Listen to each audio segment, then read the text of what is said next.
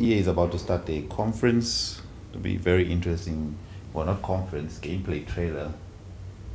Let's see. Should let me put on That's a bit loud. Put the audio a little bit on. 11 seconds. What is EA gonna show us, man? Gameplay trailer, that's what they say. Last time they told us this nonsense. It was something dodge, man. Them just talking throughout the whole thing. Here we go, EA. Show us what you got, yo. Joao. Yeah, Mason. Welcome to Inside FIFA 22 gameplay. Hypermotion is the biggest addition to gameplay in FIFA 22. Powered by real football, Hypermotion technology is a next generation exclusive that revolutionizes football gameplay in every match of every mode. Combining advanced 11v11 match capture and machine learning for the first time ever, ah, Hypermotion delivers Yeah, a host of on your next gen, features that elevate the FIFA unfortunately. So this does mean this means nothing to me.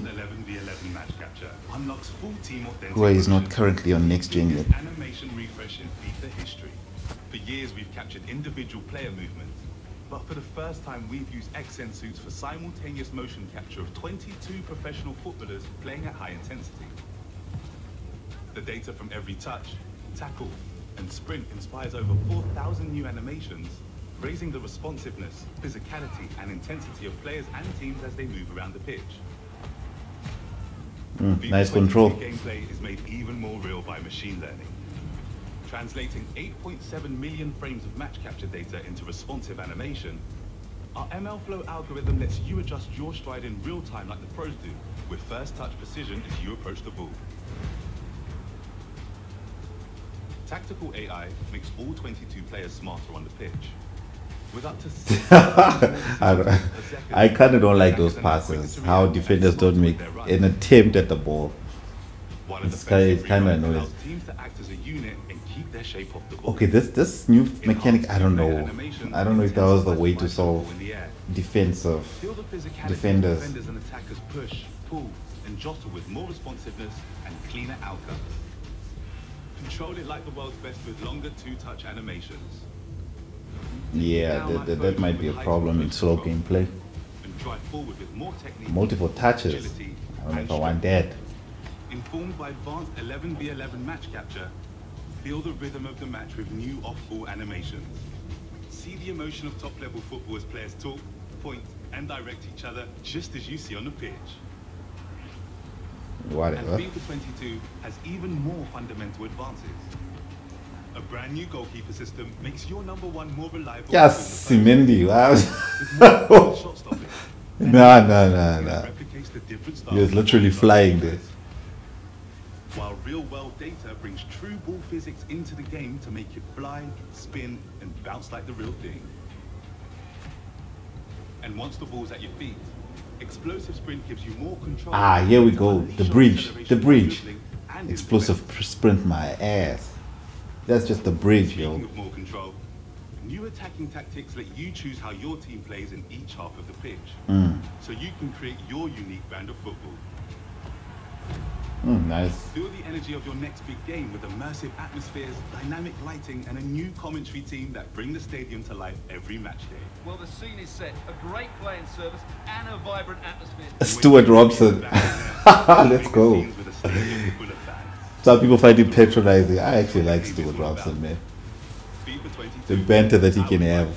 Can, it's gonna be fantastic, man.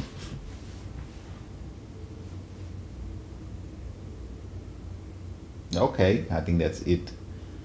So yeah, um, not seeing much in terms of what they're offering. I, I don't know.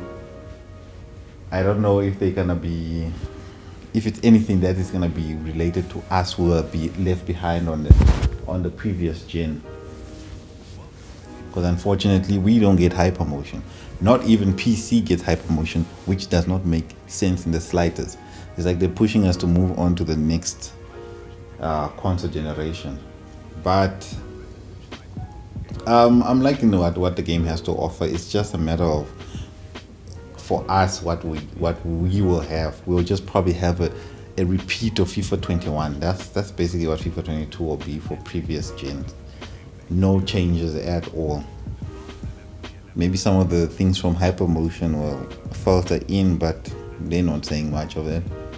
They just be. I actually like EA's approach. You either with us or you're against us. they don't give a they don't give a rat's ass of what's happening. Um, yeah, so you either get the next gen console, you get this. I, I think it's a minimal upgrade. I don't think it's that crazy because some of the thing features that they're showing that is implemented. I don't know how much of that you'll be able to feel in gameplay. It's up to it's up for debate. Yeah. Okay. Well, that's it from me. Hope you enjoyed a little bit. Well, there wasn't much of it, but a little bit of my analysis of what we saw from this gameplay trailer. I kind of liked it, but obviously, we're speaking from a next gen perspective, not from the perspective where we are gonna be, yeah, able to feel the same changes on previous gen, if you get my meaning.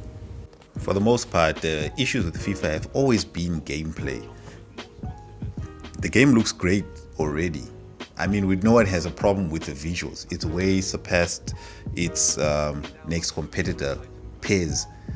PES looks great up close, but from a distance, it looks very janky. I won't lie. That's why I could never get into PES. But the, the problem has never been graphics. Graphics is outstanding and it's, it's continuing to improve. But what about the gameplay? That's where the issue lies. EA need to focus on tightening the gameplay, making the game not feel like lottery when you get into it. Most of the time, you feel like you are play you're playing a match that is based on too much luck and not too much skill.